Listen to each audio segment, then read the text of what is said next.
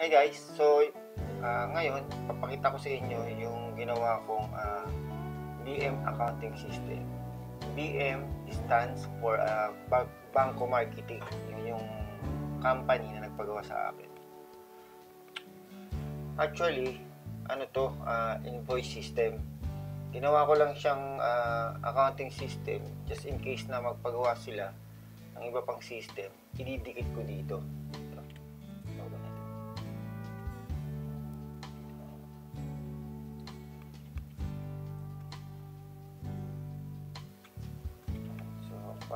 Dev. Dev. Yan.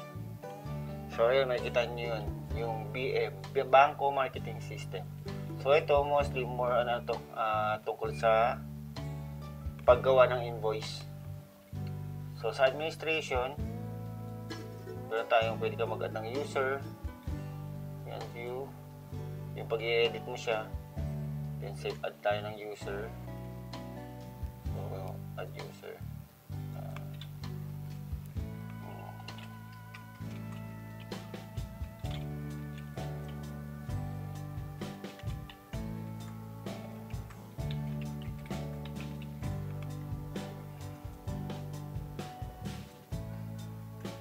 Oh.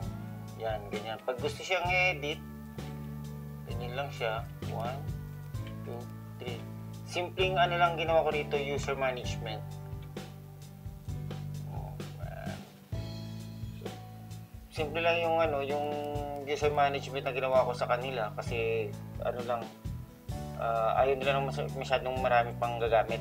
Kasi ang gagamit lang ata nito is, is dalawa dalawang user lang. So, okay na sa kanila yan. Kasi, pag gumagawa ko ng user management, meron pa rito sa babayan na ano na yung mga role nila kung sino lang yung gagawa ng transaction, sino lang yung ah, gagawa ng user, yan, mga ganon.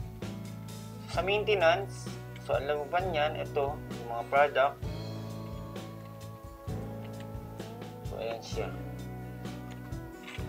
So, ang ang search, searching ko dito, so kung kunyari, ah, boot lang, ayan, nag- nag-filter siya sa agad. Bali, ang ginawa ko dyan, hindi yan, ano ah, hindi yan tatawagin mo sa database. Kada search mo, no. Ilalagay mo siya sa isang, ano, isang data table, lahat sila. Tapos doon mo na siya i-filter para siya, doon mo na siya i-filter para mabilis yung pag-filter. Ayan. So, scratch lang. Scratch. So, di ba?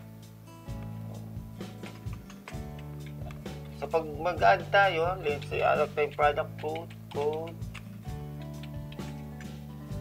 product, okay, tas unit, kilometer, mm, kilometers, kilo. So, sabi natin yung ito lang sa. Save. Hanapin natin siya. Ayun.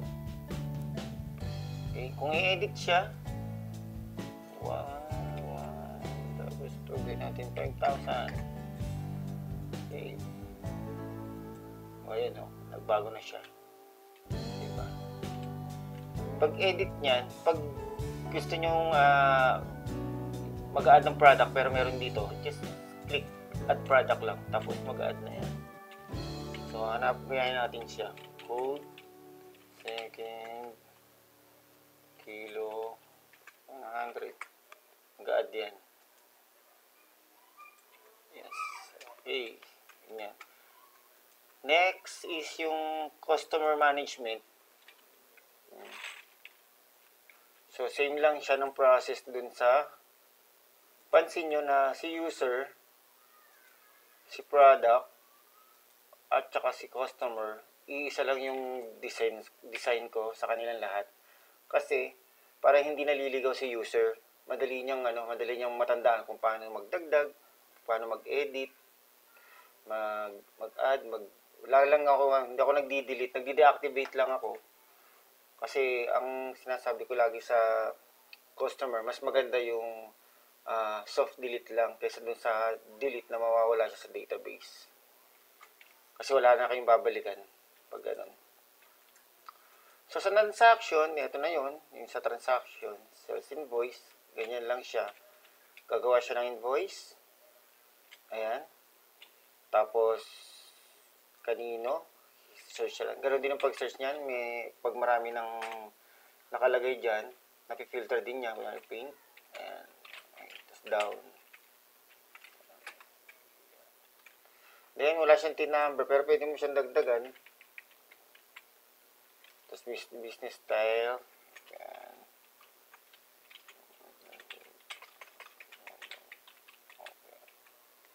Tapos, terms. Yan, PO number 1, 2, 3, 4, 5. Isang Pinoy.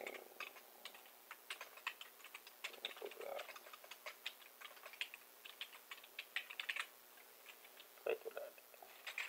Tapos yung product, dito yan. Makikita nyo. Kung makikita nyo yan, lahat ng product, nandyan. Lahat ng products, nandyan. Then, sa description, ito yung ano, yung product list. Yan. So, ang gagawin dyan, kung filter mo rin, yung pad, nahanap natin. Ayan.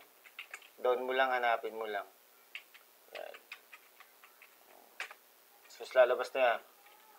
Yung unit price. So, wala siyang unit price. Kung hindi pa nila nalagyan yan, lagyan natin, ano, 500. Then, ito, lagyan natin tatlo. Tapos, save. Okay. Pa. So, pansin nyo ito, nagkakaroon ng laman. Pero pwede siyang i-edit kasi minsan dito nagbibigay sila ng discount. Kaya ginawa ko, editable yung ano yung ah, mga tong sales, VAT, VAT amount, editable yan. So, doon tayo magpakipot.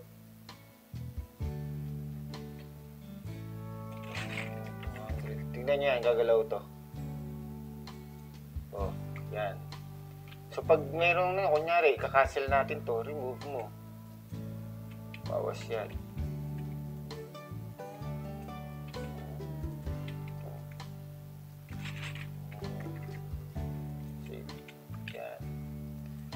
Pag, tas pag ganyan na, ipiprint na natin yung ano, yung sales invoice. Ang ginawa ko rito, hindi siya automatic mapiprint agad kasi gusto nila nare-review nila eh. Ayun yun. Ayan, gusto nila nare-review muna nila bago nila i-print. Pero sa, sa ano yan, sa ah dinisign yan talaga para dun sa invoice na galing sa ano sa BIR. Naka-register yung ano yung invoice nila sa BIR. Then after niya, et, ang ginamit ko rito sa reports na to is Crystal Report. Ayan, sa Crystal Reports. So, ganun din sa, ano, sa Print DR.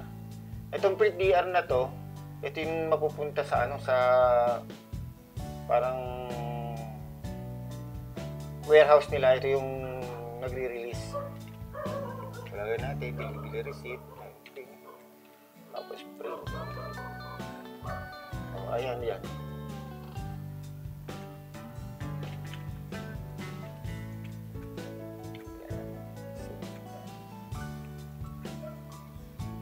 Close ko na siya. So, ito na siya. Saan na yun? Ito, ito. Ah. Oo nga, walang, walang invoice number. So, view mo siya. Lagay mo invoice number. Itong invoice number, makikita nyo yan dun sa invoice form na issued by BIR. So, dun yan. Yung, para lang may ano sila, may matrack nila kung magkatugma yung nare-record dito tsaka dun sa sales invoice na napiprint.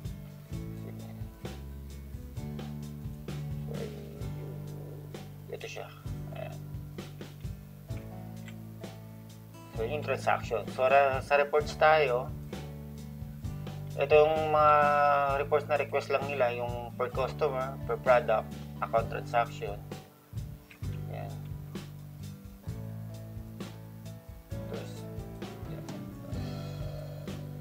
kahit isang taon, limang taon pa yan, kaya niya i-generate yan. Tapos export to CSV file. So walang report siya na ano, puro ano lang ah, export to C So yung mga reports dito, karamihan dito, export to ano lang yan, CSV file. Kasi yun lang yung nasa kontrata namin. Ayan. So yan. So sa mga gusto mag-freelance, so ganun maging maigpit kayo sa mga ganun kung ano lang yung pinapagawa hanggang doon lang. Ngayon, kung may papadagdag sila, pag-usapan nyo ulit. Kasi yung budget ang hinahabol nyo ron, pinagtutugmaan nyo yung budget. Okay? So, ang, meron pa rito ano eh, maganda ano, ah, so kung sa transaction ka, punta, sales invoice, kasi search pala yung ano dito, 3, 4, 8, 5, ayun na. Ah, search din yung ano, yung invoice. Or kung yung paint, may paint lahat. Brothers, ayun o. Kita siya. Tapos, kung nalilitan kayo dyan, eh, paluwagin natin. Yan, o. Diba? Sakop niya. Diba? Pwede mo rin siyang, ba, andito yan. Nasaan na? Wala.